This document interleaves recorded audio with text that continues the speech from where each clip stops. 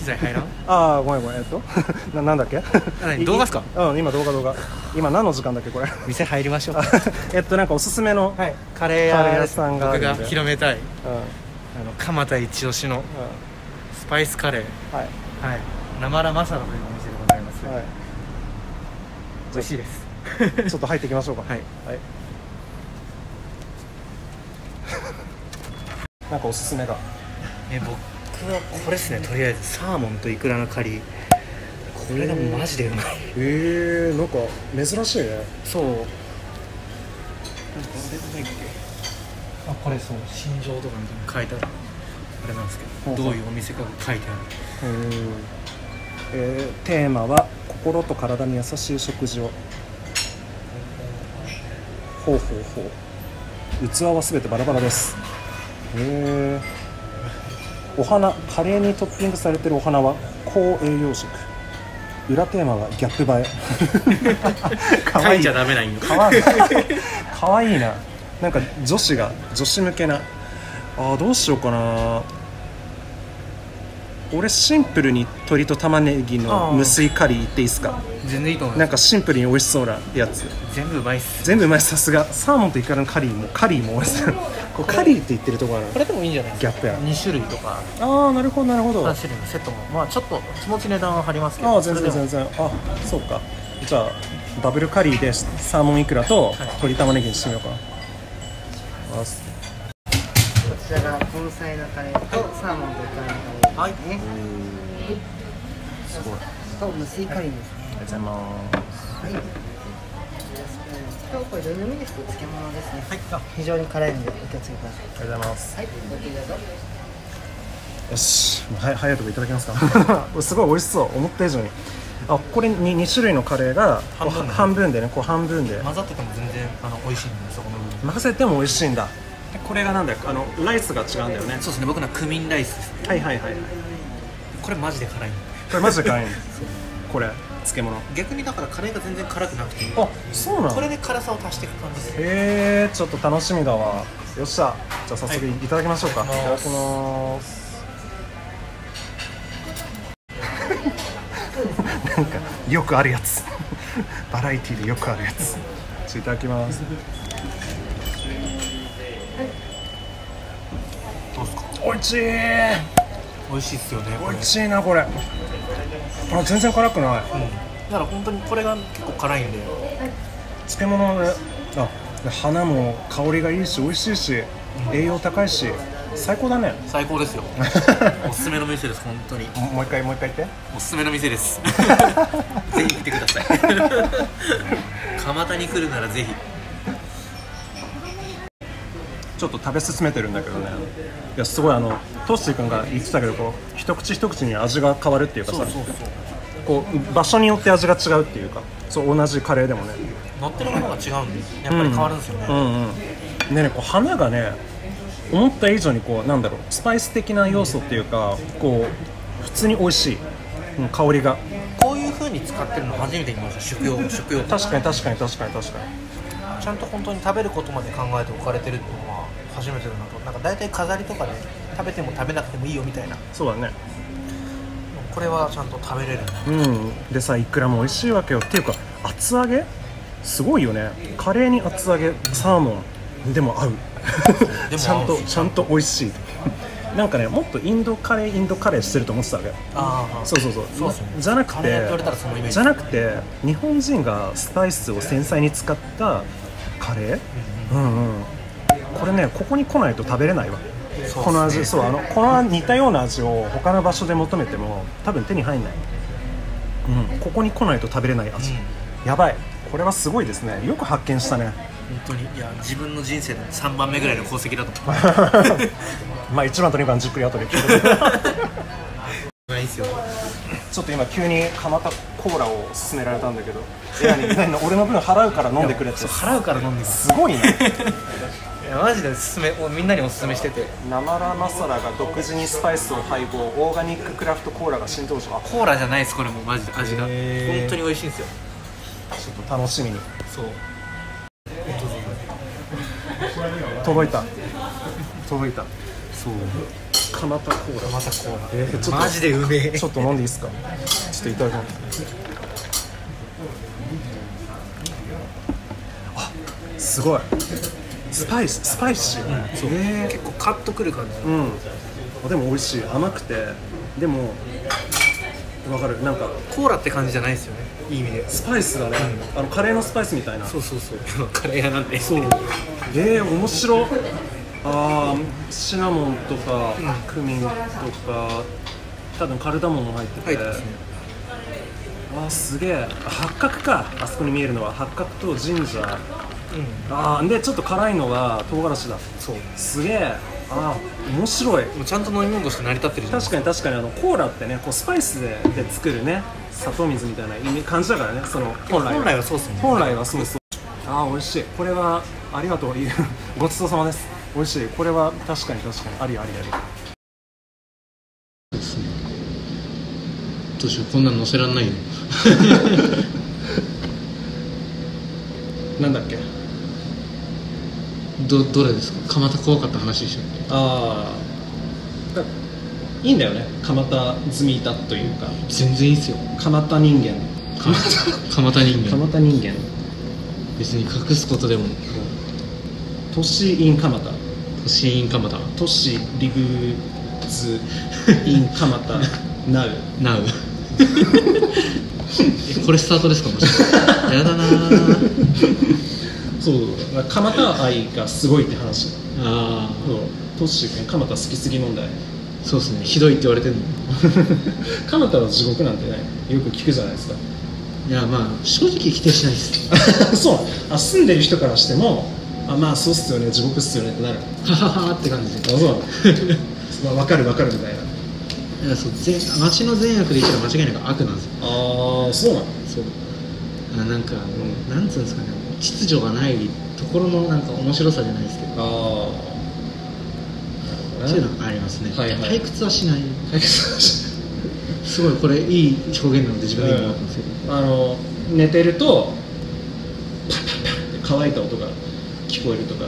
パンパンパンって乾いた音はしたことないですけどあ本当に？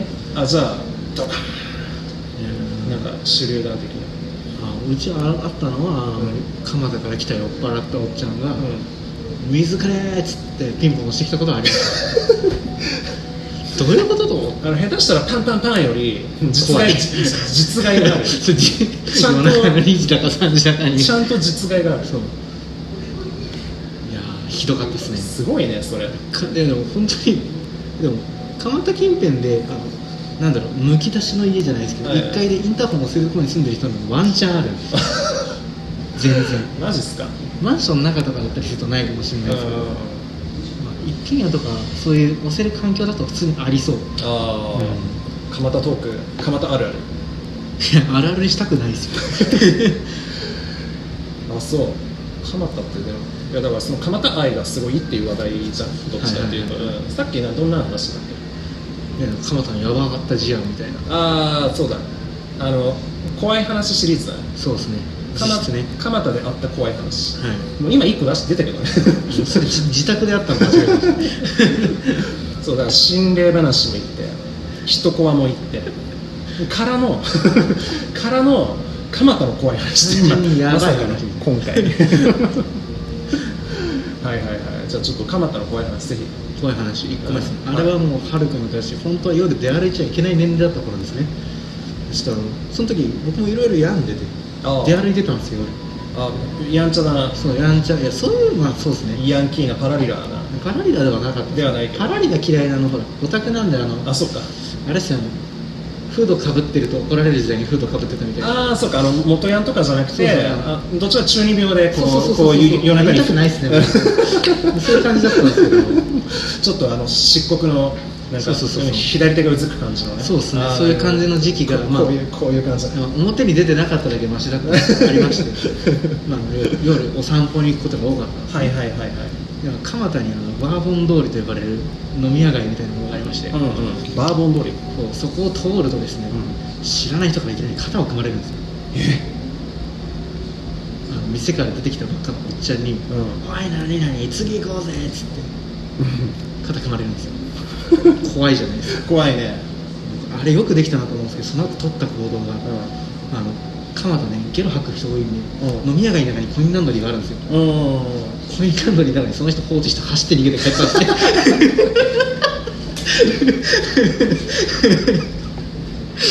まあでも向こうからそういう絡みをしてきてるわけだから、うん。ワンチャンぶん殴られてもしょうがない。正当防衛でその人はね。それをコインランドリーに置いてくるくらいで済ましてあげたってこと。だいや怖かったっすね。そうだね。左手もうずくよねそれはね。早く早く行け。早くお前逃げないとこいこいつが力を解放してしまえ。そんなことない。俺はその日で大人になりました。ないんだ終わった日でした。大人には勝てない。とあの中二病の終了なんだ酔った大人には勝てるんだな。と 察した日でもあります察した日そうああしょうがねえな。それは大人になった日だ。あるそうある意味。そうそうそう。へいやーひどかったっすよ。え蒲田ひどいね。うん最高っすよね。後からなんだろう。でもバカなんですけど大体後から聞くと笑い話になるタイプのやばい話なんで。うん。まだね。まだそうそうそう。うやっぱ蒲田だわ。ん母ぐらいで済むうん。蒲田怖いね。蒲田やばかったトークですかね。2つ目ですかね。二つ目の。2つ目。ま あもうお腹いっぱいだけど。結構 やばすぎるって。じゃあ2つで終わりにしときます？いやいやいやいやあもういきますか。もう聞けるだけ聞きたい。2つ目はとりあえずはあのよくありがちという。ありがち。あのロータリーがあるじゃないですか。バあのバスターミナルじゃないですか、そこで、まあ、中国の方とフィリピンの方が「俺は日本国籍あるんだぞ」っつって殴り合ってるっていうシーンがありました、え？中国？ちょっと待ってそれ整理でい中国人の人とはい。フィリピン人の人がいて、多分そうその辺のああのあの東南こ国外の方国外の方が喧嘩してます。そう。バスロータリーで。そう。うん。でその時言ってた言葉が俺には日本国籍あるんだぞ殴り合ってる そこマウント取るとか日本国籍がある方が上なんだみたいなマウントがあるんだ。そうなんか面白かった。あのあの世界では。うんいやおなんこんな話をして怒られないか怖いですから いや実際あったこと。見たことある。それしょうがない何が面白いってロータリーのところから、あのくっそ狭い交番から警官5人ぐらい出てきて。あそこにもいいの？そうあんなちっちゃい詰め所みたいなところあるぞとかあーなんだなんだなんだっつって5人くらい。慣れた顔で止めに入るんですよ。あそうなんだ。はいはいはいはいみたいな。はいちってちってちってみたいな感じ。あそう。だから蒲田だと警察24時みたいなの起きないかもしれないです。あうん。の警察官慣れすぎてまあ慣れすぎてね。トラブルになるんですそうか大変なことじゃなくてもう日常すぎて。フィリピンの人中国の人がね。そう。その日本国籍マウン日本国籍持ってるマウントってのがあるの初めて聞きましたけど。そっか。いやそう俺が外国に行ってもさその外国籍持ってるマウントは取んないけどね。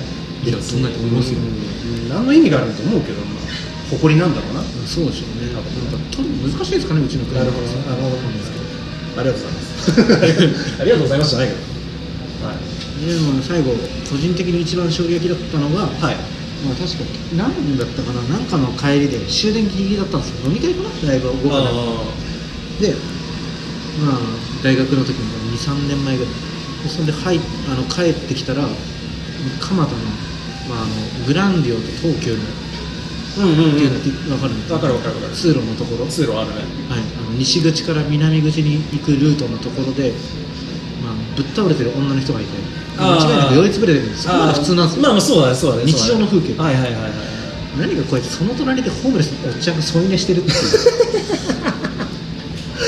ああの ちょっと待ってなんかもう想像がよく想像したけどよくわかんない。想像した上でよくわかんない。もうあもう酔いつぶれた女の人がギュダーってこう寝ちゃっててその隣で気持ちよさそうに添い寝してるホームレスがいたよそうっすなんかどちらかというとホームレスが自分の寝床で寝かせてるぐらいの。ああなんか。なるほど段ボール引いてあるじゃん。あそこにいるんですよ女の人が。ーあそうなんだ。だからそういやわかんないよ。これ、うん。ホームレスの人が連れてったのか、う女の人がホームレスのところに入ってたのそうだねかわからない。そう女の人が「あ段ボールがいい段ボールがあるじゃないドギャーン!」っつって。寝てそうそうそうそう。あわしの寝るとこ」っつってしょうがないからどんどん近くで寝るみたいな。そのパターンもあるもんねいやでも考えようによっては多分人生で一番衝撃を受けた絵面だと思いますそうだね。スーツ着てる女の人ですよ。普通あ普通のもう。そう。いえー、マジか。それすごいね。やすごいっすよ。かなたすごいね。大好き。大好き。本当に